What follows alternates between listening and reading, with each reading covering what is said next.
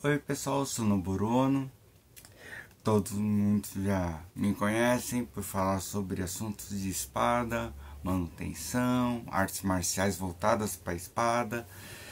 E tenho uma curiosidade esse mês de janeiro, muito legal. É, são coisas são até místicas, então é, não tem explicação, não tem como definir isso, né? Destino, provavelmente, né? É sobre uma espada japonesa, né? Vinda do Japão mesmo, e que uma pessoa queria muito ela, mas que seria muito improvável achar uma espada dessa. E ele então pediu para eu tentar fazer uma réplica dela. Só que não precisei. Quer saber mais? Logo após os apoiadores. A Bruxa e o Samurai, Esoterismo e Cutelaria. Noboru Ono, Espadas, Arcos e Balestras. Rapido Ronin, Mestre Moacir.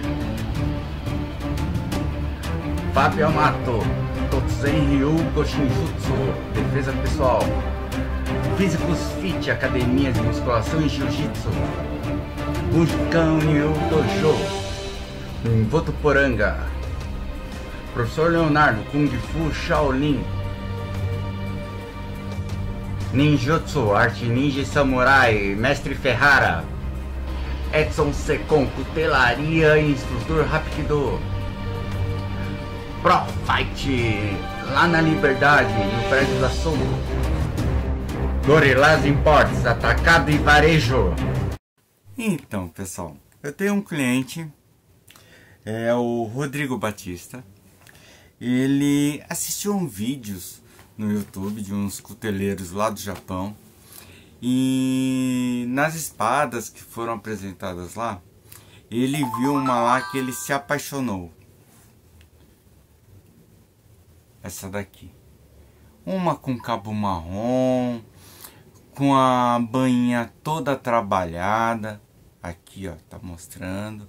Aqui na foto, infelizmente não dá para ver, mas é um marrom todo pigmentado, né? E ele falou: dá para fazer uma réplica dessa? Dá. Vai dar trabalho? Vai. Mas não vai ficar igual, porque sempre tem a diferença de tonalidades de cor às vezes não encontra da mesma cor tal. E aí ele falou: Ah, tenta deixar o mais parecido possível. Tá bom. E aí eu falei: Ó, vamos deixar. Deixa eu pesquisar as cores tudo mais. E isso passou uns três dias. Aí eu recebi um contato de uma senhorinha. E ela perguntou: Olha, tem uma espada aqui e estou me desfazendo dela. Já está muitos anos aqui e eu não sei o valor de venda, não sei se vale alguma coisa, não sei o estado dela. Tá bom. Ela mandou as fotos para mim. Eu não acreditei. Era a espada que ele queria. Mas tinha que ir ver. Rodei 200 km, levei 4 horas de viagem. Praticamente é um sítiozinho no meio do mato. Olhei a espada, era ela. Tava um pouquinho assim, é, ela tava. Ela não foi usada mas foi mal guardada, né? Então, tipo assim, tinha um pouquinho de barro, bastante poeira, tava bastante suja, né? Aí eu peguei, expliquei para ela, comprei a espada dela, ela ficou contente e voltei para casa. Comecei a fazer a limpeza na espada, tudo mais. E eu mostrei para ele. Vocês não imaginam a alegria que ele teve de, descobrir que eu adquiri ela, né, para ele. Então, agora eu vou apresentar essa espada para vocês. Tá aqui. Né? Trançado marrom, como ele tinha pedido. a bainha marrom, toda trabalhada, é meio cobreada com pingos marrons. É uma coisa realmente difícil de achar. Não fiz nenhum retoque de pintura, só fiz uma limpeza, um polimento na bainha também, que estava grossa. Aí eu fiz um polimento na na bainha. Tem pequenas marcas? Tem, né? Mas é, mal dá para perceber. O trançado tava todo solto, sujo, lavei.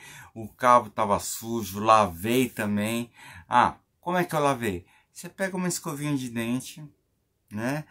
Pega um detergente neutro e começa a esfregar, lavar, lavar, lavar, lavar.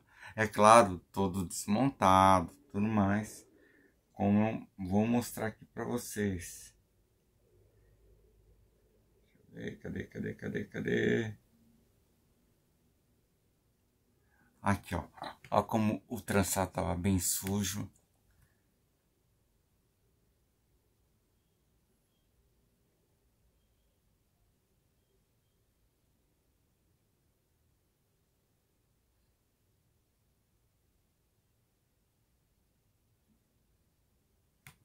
Aqui, ó. Eu desmontei o cabo, né? Até para ver o estado da lâmina também, né? Aí fiz toda a limpeza, agora sim, né? A lâmina.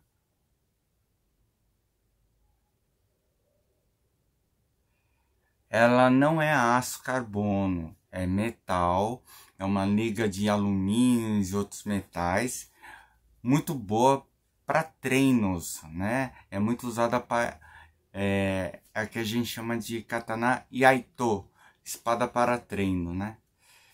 Então é muito boa para treino. Muitas academias eu já vi usando, né? Muito boa mesmo, né? Não possui fio, por isso que é para treino, para não ter perigo, né?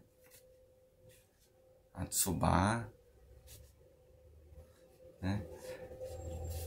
Tá impecável, muito bonita. Então, tem coisas que não dá para explicar, são obras do destino.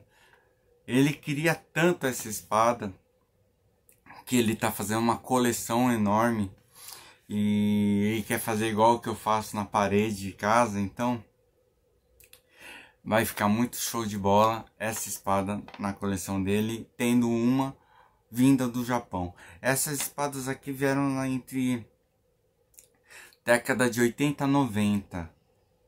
Então, encontrar uma disponível é muito raro, né? Então, tá aqui um bom exemplo dessas espadas aqui vindas do Japão. Outro detalhe que eu sei que é japonesa, vai, além de que eu já conheço daqui já há muitos anos, o pino, o mekugi, ele não é na horizontal, ele é em diagonal para travar melhor. É um mekugi só. E mais, é, eles não liberam lâminas de aço carbono. Então, por isso que todas as lâminas que saem de lá são de aço, aliás, são de metais que a gente chama de zamaki. É uma mistura de ligas que não pode ser afiada, mas é ótima para treinos. Né? Então tá aqui uma história que sobra de destino mesmo para o nosso amigo Rodrigo Batista ter conseguido essa espada aqui. Valeu, pessoal.